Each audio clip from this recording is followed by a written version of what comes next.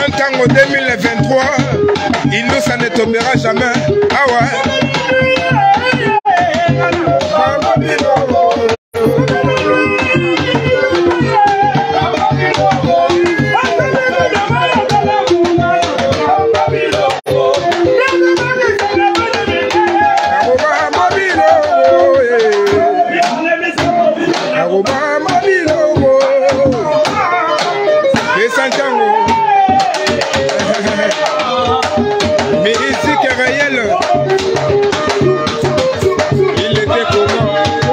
Thank you.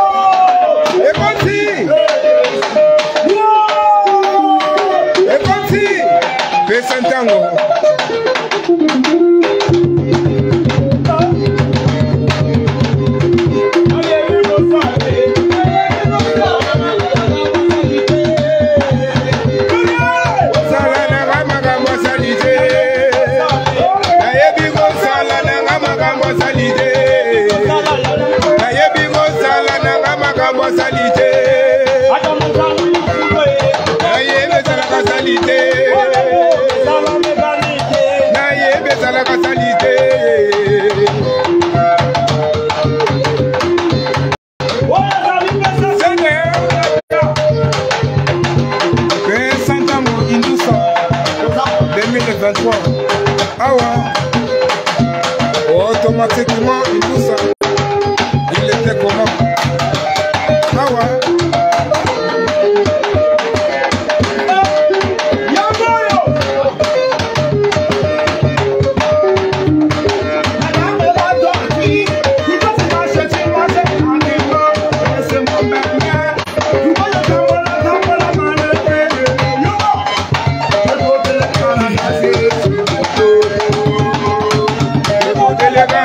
Jesus.